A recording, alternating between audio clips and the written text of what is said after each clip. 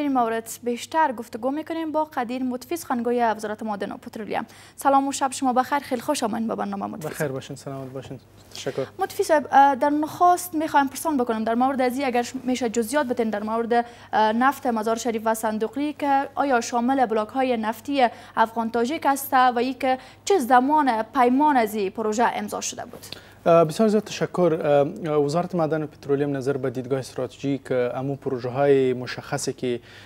در حدود 14 پروژه بود و به خصوص به حوزه نفتی افغان تاجیک بود دیر بررسی قرار داده و ما نظر به بررسی هایی که اونجا بوده ما انجام دادیم و یک تعداد قراردادهای ما نسبت به مشکلات اقتصادی حقوقی و تکنیکی که داشته. مهمترین فیصله در شورای اقتصادی و به سطح کابینه جمهوری اسلامی افغانستان صورت گرفته. قرارداد افغان تاجک هم یکی از مهمترین قراردادی بود که در بخش اکتشافی و سروی نفتی که در ساحه مزار شریف جوزجان و حوزی نفتی شمال افغانستان بوده به امضا رسیده بود. قرارداد در سال 2013 به امضا رسیده بود. اما نظر به یک تعداد تعهداتی که شرکت متذکره در پروسه های داوطلبی انجام داده بود و مسائل پیش نرفته بود. به این خاطر ما پروسه را سرگیری کردیم و تمامی موارد مذاکرات کردیم با شرکت کنسرشوم و خوشبختانه تانستیم که نظر به مذاکرات و نظر به مو تعدیلاتی که در در در قرارداد بوده و امو تعهداتی که در پروسه داوطلبی انجام شده بوده قرارداد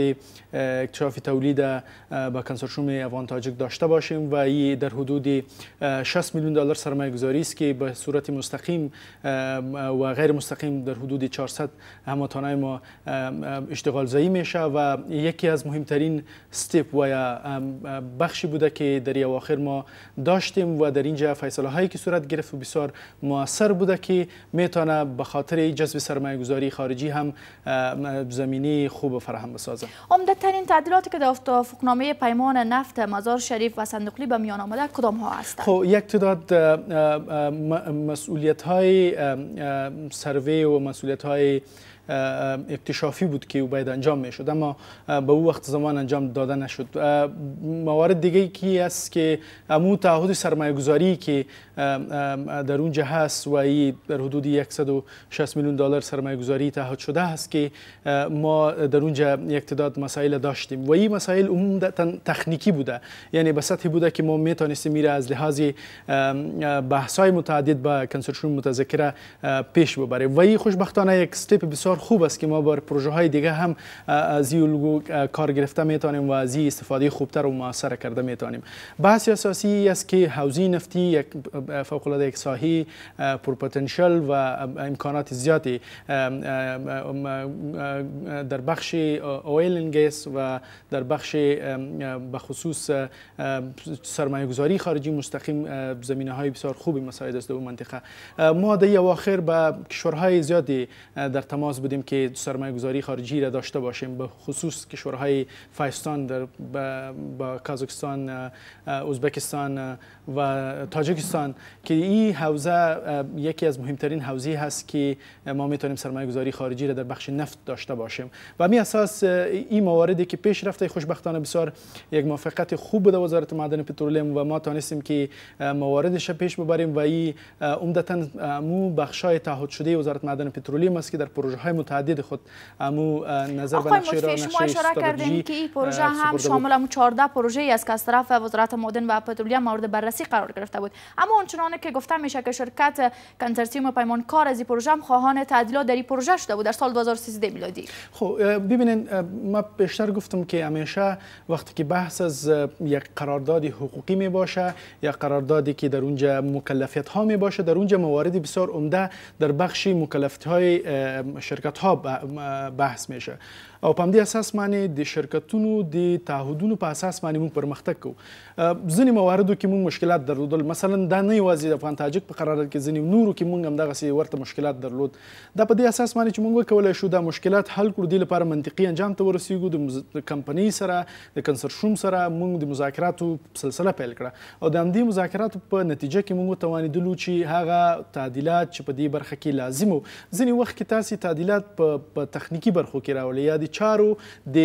چټکتیا لپاره تعدیلات راولي. ځکه یو مسله چې دا د نفتو برخه کې او د غازو برخه کې خصوصا په صنایع استخراجي سکتور کې. هلته تاسو ځینې وخت باید هغه flexibility هغه تعامل باید ولرو موږ چې په قراردادونو کې باید موجود وي. ځکه کچېری په ځینو شرایطو کې هغه د د شرایطو په بنیاد باندې موږ پر مخ لاړ شو هغه کې بیا هغه تخنیکی اقتصادي حقوقي مسلې پر مخ نځي نو په همدې اساس باندې موږ وتوانیدل چې هغه مسلې چې د قرارداد په مقابل کې دی هغه حل شي او خوشبختانه دا یو ډیر مهم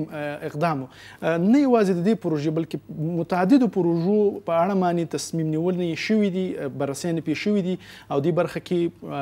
مونږ د ټولي پروژې د شورای اقتصادي لارې او وروسته لاغې کې چیرته د کابینه تاییدي هم په کار وي البته په کابینه ته ځي وروسته لاغې نه په دې باندې اقدامات کیږي نو دا یو ډیر مهمه سلسله او ما تاسو یادونه وکړه چې نفتي حوزه زمونږ چې هلته د هلته دولس بلاک دي. په هغې کې هر یو کې پټنشل شته. او مونږ هلته فوق العاده زیات امکانات دي د اکتشافاتو لرو هلته مونږ ډیر منابع لرو. یو ډیره مهمه مسله چې یادونه وړ ده په 1980 ول هغې نه مخکې کلونو کې زمونږ اکثره اواید د دې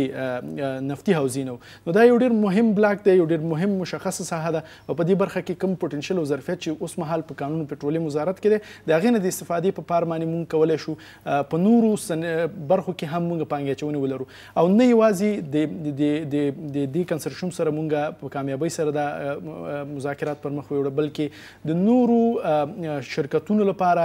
یو ډیر ښه میکانیزم باندې کار شو ترڅو مونږ کولی شو هغه بلاکونو کې چې سرمایه گذاری ضرورت آقای مطیبیان یک چیز را هم بپذیریم که آن چنانه که نیاز بود که در حوزه نفتی افغانستان باید در بخش های منابع نفتی باید کار صورت بگیره متاسفانه کار صورت نگرفته. با توجه به اینکه ما منابع سرشار نفت در افغانستان داریم. زه تاسو خبرو سره موافق یم ځکه نه یوازې نفتي حوزه کې بلکې په ټول صنعتي استخراجي سکتور کې مونږ ډېر یو ستر challenge سره مخ یو. په دې سکتور کې چې کوم پوتنشل او ظرفیت په دې سکتور کې چې کوم اقتصادي ظرفیت دی د هغې نه موثره ګټه تر اوسه پورې په صحیح توګه باندې نه ده اخیستل شوې. دلایل د دې لپاره موجد دلایل شته چې نه تګلارې وي نه مشخصه ستراتیژي وه نه د صنعتي استخراجي سکتور لپاره میکانیزم و نه د بهرني مستقیم پانګه اچونې لپاره زمینې وي اما دغه step ونه یا دغه قراردادونه مونږ یو step مخکې کوي. په دې لپاره چې مونږ وکولای شو سرمایه گذاري ولرو د لپاره چې مونږ وکولای شو بهرني مستقیم پانګه اچونه ولرو او یو ډیره مهمه مسله چې مونږ د دې سکتور نه د موثر استفادې لپاره کومه تګلارې چې جوړه کړې دا د عملي کېدو په درشل کې د ډېر ښه لاسته راوړنې درلودې تشکر سپاس از تاسو نن ډیره زیاته مننه